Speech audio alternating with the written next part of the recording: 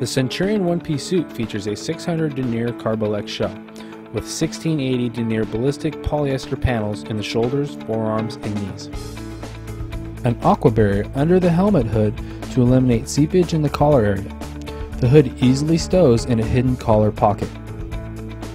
The removable neck gaiter seals the neck area from the wind and cold. The collar anchor tab eliminates flapping while the collar is open. Waterproof zippered three position shoulder vents combined with adjustable undersleeve vents, thigh vents, rear exhaust vents, and pipeline ventilation system to provide flow through ventilation. Collar to knee length main zipper closure with dual wind flap seals out the elements. It also helps aid putting the suit on and off.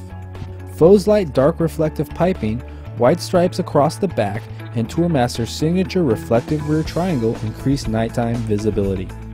Carbolex accordion stretch material action back, knees and waist for increased flexibility.